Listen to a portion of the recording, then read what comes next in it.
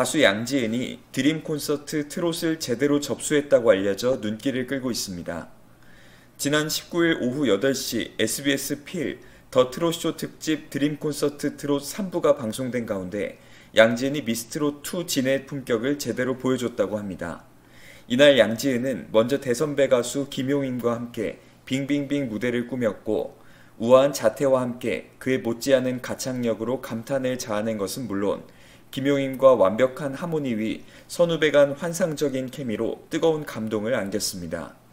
또한 구비구비 흥아리랑으로 팬심 저격에 나선 양지은은 국악과 트롯을 넘나드는가 하면 특유의 보이스와 폭발적인 가창력, 여기에 눈부신 무대 매너를 통해 관객들에게 전율을 고스란히 전했다는 것입니다.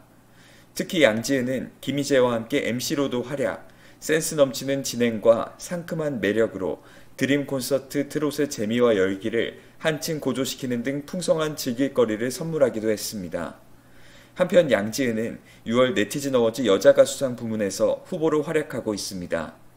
네로라는 트로트 스타들이 총 망라된 가운데 6월 네티즌 어워즈는 오는 30일까지 진행됩니다.